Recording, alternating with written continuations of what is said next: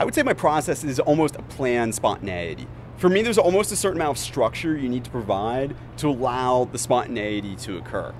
It depends what you're near and what you're around to really the way it affects your mind and the creative process. I mean, I find if it's just a blank room, there's not much to stimulate or much for me to see or do.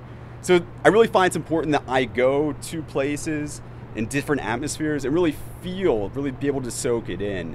Some of those involve being here local in New York City, from anywhere from my rooftop right up here, coming up here on a beautiful day, to walking around New York, to all sorts of international places around the world. It's a certain amount of creating the structure and then within that structure allowing for the spontaneous things to happen.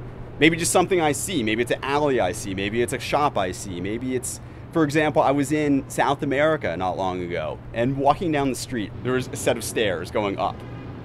And I literally had no idea where these stairs were going to. It was one of those cases of it seemed like a good idea, so why not? So walking, walking, walking, it's getting a little late in the day, the sun's starting to set over the valley, and the further up I walked, I kept pushing and pushing and pushing. The views became better and better and better. So, to me, the best part about buying somewhere is the most unexpected of places, things that you have never thought you have come across that really inspire and give new ideas and new ways of looking at things.